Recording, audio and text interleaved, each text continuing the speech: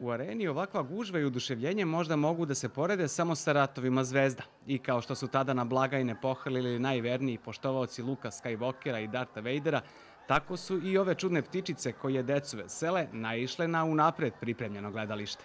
To su onako jedne ljute ptice e, koje su ljute zato što im prasići stalno hoće da im uzmu jaja. E, I onda one moraju da se odbrane imaju više tih likova u timu. Volim taj film, igrica me navlačila i jako volim kada se naljute, to je meni previše smešno.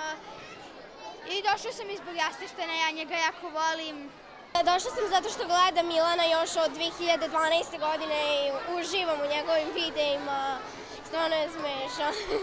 A Milan alias Jasrštajn izazvao je barem podjednako oduševljenje kao i Angry Birds. Omiljeni likovi spojili su se u istom filmu. Pozvali su me onako last minute da dam glas pantomimičaru, ptici pantomimičaru koja zapravo i priča. Imam taki punchline da kažem, o oh moj bože. To je neki comic relief u filmu. Film je stvarno fenomenalan, inače nisam tokom odrastanja nisam bio neki velik fan sinhronizacije. Odrastao sam uz ono, originalne filmove na engleskom, ali evo, poslednje vreme što vidimo bioskopu filmove sa ono, pravom sinhronizacijom, zapravo se jako oduševio. Deca kao deca su stvarno najiskrenija i najtoplija publika, pa sad meni je jako drago što ih ima u velikom broju, da u velikom broju vole naš rad i što dolaze ovako često aktivno.